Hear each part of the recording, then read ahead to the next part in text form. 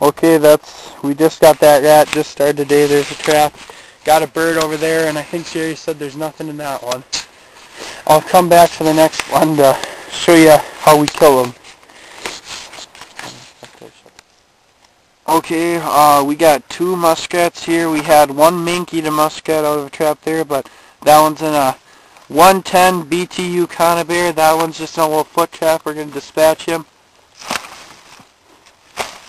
I think Jerry or Jeremiah Trotton got him with the um um the what the hell is it? Uh, hammer. There's the one in the conibear.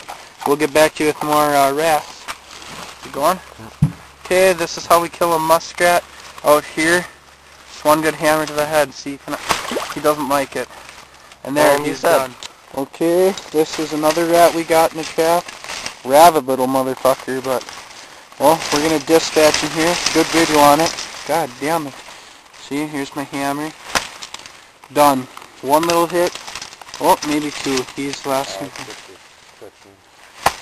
Just to make sure. Better be safe than sorry. This is that run Oh, with yeah. four or There. five. Oh, okay, yeah. it? Yep. Walk up here with me. This is how we kill a skunk Minnesota style. Hopefully I hit it.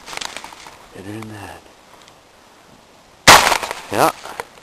And now it lets out its god-awfully fumes. That's how we do it. Actually didn't. That might be good. Okay, hit the middle button. Brett Tulsa, Jake Twerdick. Oh yeah, there they